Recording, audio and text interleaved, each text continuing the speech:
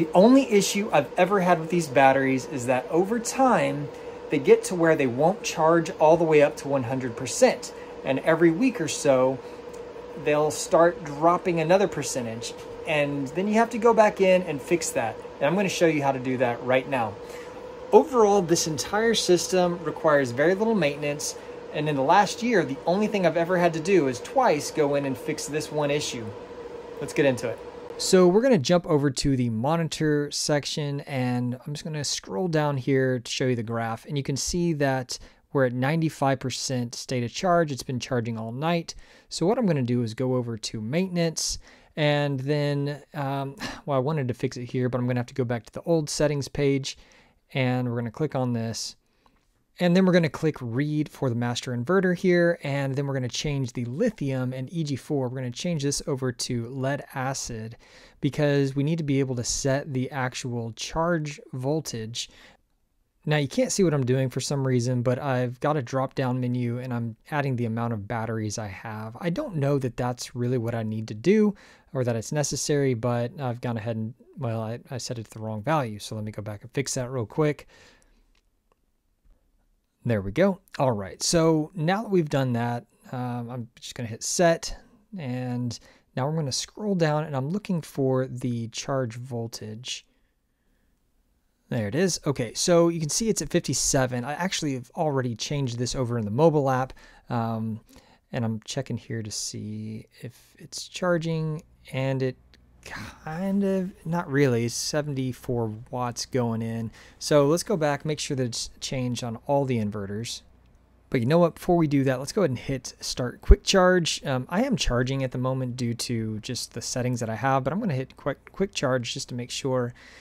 And of course you can also do this with a chargeverter but this is kind of the easiest way to do it without having to set anything else up. So we're going to go back to maintenance and i've got to switch back over to the old settings um, hopefully they'll update all that pretty soon.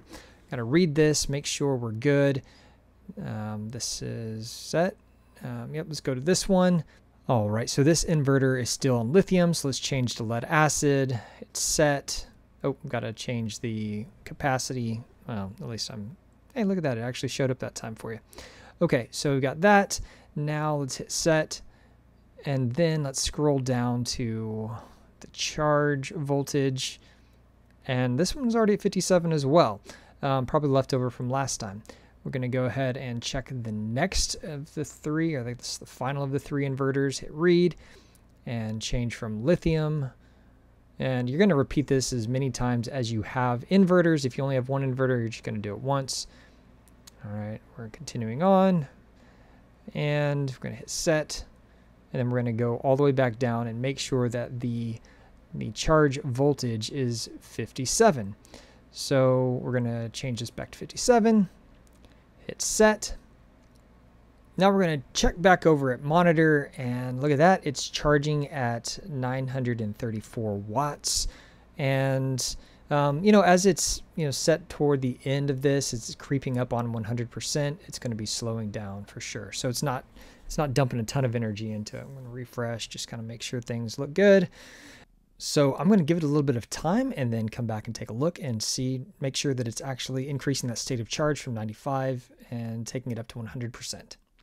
So as I'm going back through here and I'm looking at the recording, I'm realizing that down here at the bottom of the screen, you can see that it is already showing 100% SOC. So that in comparison with early on in the video, it definitely was saying 95 while it was saying that it was done charging. Now we're back to 100% and it appears that that is all that needs to be done to recalibrate and reset the state of charge. It's just one of those glitchy things that for whatever reason, the BMS just kind of gets out of whack. And so by pushing it to that 57 volts, it allows it to go, oh man, okay, so this is what full looks like.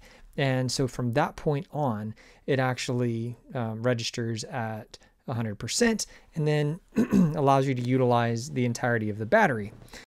I want to give a shout out to Gavin Stone DIY Homestead. He, in a private chat, actually tipped me off to this issue and um, made it so that uh, basically I was able to, to fix this in just a few minutes. Um, I did use the chargeverter like I had mentioned previously the first time, and that worked great but um, doing it right here is actually easier. So yeah, thanks, Gavin. Now, of course, don't forget to go back and change back to lithium and then change to EG4, which is zero. It's the first one if you have these batteries, which is, of course, you do because that's why you're watching this video. And then go ahead and do that for all three of your inverters or however many inverters you have. And then at that point, you're pretty much set for another six months or so. It really is pretty simple, and these batteries are fantastic. Also, if you're looking at picking up a couple more of these batteries or change over to the wall mount or purchase anything else from Signature Solar, I would greatly appreciate it if you would utilize my link in the description below, and that will also give you $50 off any order over 500 bucks, and it helped me out a ton. So I appreciate that. I'm Eric with East Texas Homestead, encouraging you to live faithfully and prepare thoroughly for good times or bad. I'll see you on this video over here.